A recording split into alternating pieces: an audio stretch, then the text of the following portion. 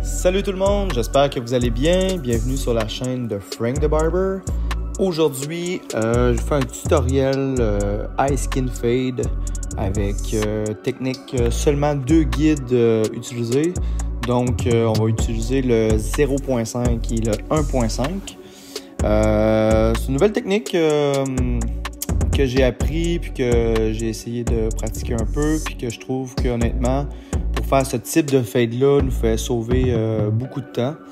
Donc euh, j'ai décidé de vous la montrer aujourd'hui. Donc euh, j'ai commencé par faire ma ligne à zéro avec mon FX Skeleton. Vous voyez là, la ligne, je l'ai quand même commencé assez haut étant donné que c'est un high skin fade.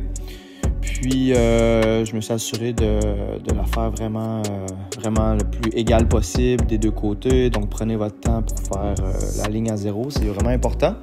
C'est vraiment la base de votre dégradé, donc ayez de bonnes bases pour, partir votre fade.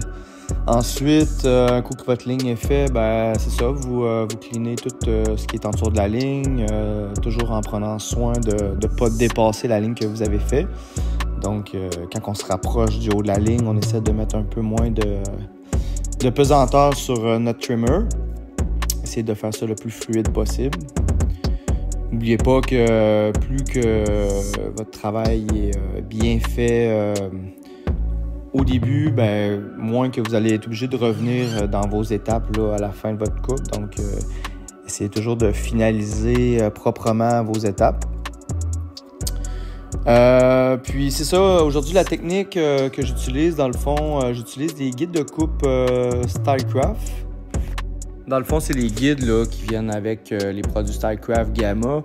Habituellement, j'utilise plus les guides Wall Premium, mais c'est ça, pour, pour ce type de fade-là, j'ai utilisé les Stylecraft. Pour faire cette technique-là, je vous recommande vraiment d'utiliser ces guides-là. Euh, sont vraiment appropriés là, pour, euh, pour ce fade-là. Donc, euh, après avoir passé votre tondeuse de finition, euh, toujours bien passer le shaver. Encore une fois, quand vous vous rapprochez de votre ligne, essayez de, de mettre moins de pression sur votre machine. Ça va éviter de créer une ligne qui est plus franche, donc ça va finir un fade qui est plus fluide. Si jamais, euh, des fois, vous avez euh, monté un peu trop haut, par la suite, euh, des fois, peut-être revenir avec votre tondeuse de finition, venir peaufiner votre travail.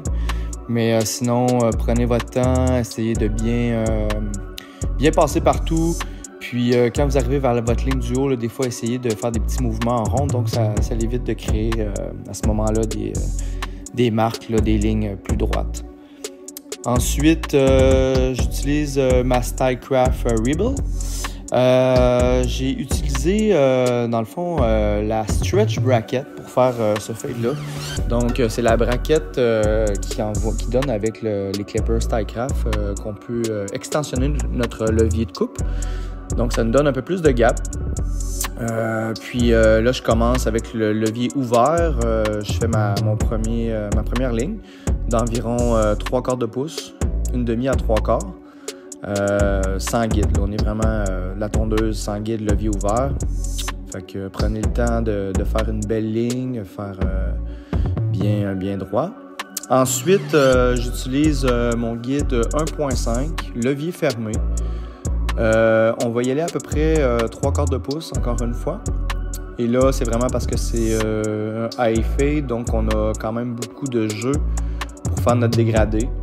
C'est pour ça qu'on va mettre un peu plus d'espace. Là, je viens d'ouvrir mon levier euh, à moitié. Et là, je vais monter environ un quart de pouce pour finalement euh, levier complètement ouvert et un autre un quart de pouce qui va venir se fondre avec euh, les cheveux du dessus. Donc, euh, c'est vraiment le dernier guide qu'on va utiliser. Si jamais il y a une transition à faire, on peut prendre le, ciseau amincisseur puis venir faire la, la petite finition. Ensuite, euh, j'utilise euh, mon guide 0.5 avec le levier fermé. On va commencer notre fade euh, par le bas, donc euh, un quart environ. Puis ensuite, on va y aller levier demi-ouvert, un autre quart de pouce. On monte dans notre dégradé. Puis par la suite, levier complètement ouvert. Et là, on va venir vraiment fondre dans notre 1.5 qu'on a fait tantôt. Donc, ça va venir vraiment se fondre dans le 1.5. On n'aura pas besoin d'utiliser le guide numéro 1 étant donné qu'on a utilisé la stretch bracket euh, plus le, guide 0.5, ça vient vraiment faire comme euh, un, euh, un, petit peu plus que numéro 1, je dirais. Donc, ça vient vraiment se fondre dans le 1.5. Par contre, c'est sûr que essayer d'avoir un petit mouvement, là, faut pas être trop robotique, faut pas trop rentrer. Donc, on finit la course dans le 1.5 en essayant de de, faire des petits mouvements avec la tondeuse, peut-être utiliser les, coins de tondeuse là, pour pas créer de ligne. Ensuite, euh, on recommence dans le bas pour venir euh, faire euh, notre ligne de départ. On va prendre la tondeuse complètement fermée. On va monter un tout petit peu. Ensuite, vous allez levier demi-ouvert. On va continuer de monter dans notre fade. Et ensuite, on utilise le levier complètement ouvert et là, on va vraiment venir euh, se fondre dans notre 0.5 euh, qu'on a utilisé tantôt. Donc, euh, ça fait vraiment, vraiment un, fait qui va être assez fluide. c'est un fait qu'on a beaucoup d'espace pour travailler. Alors, il faut juste prendre quand même le temps de, bien, bien faire nos mouvements, OK?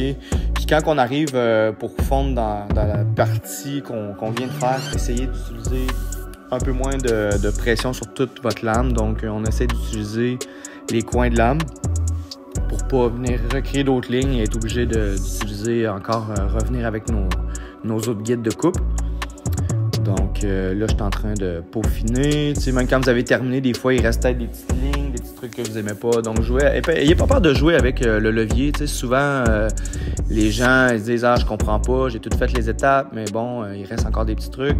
C'est sûr que des fois, faut, euh, faut, jouer avec le levier, il faut on peut replacer un autre guide. Donc, euh, garder le fade, ça fait vraiment quelque chose de fluide. On a juste utilisé deux guides de coupe. Puis euh, là, je vais vous montrer le résultat final. Super beau fade. Comme je vous disais tantôt, si jamais il y a une petite finition à faire avec le dessus, juste utiliser le, ciseau à minceur, puis c'est gagné. Donc, j'espère que vous avez apprécié, puis je vous souhaite une bonne journée.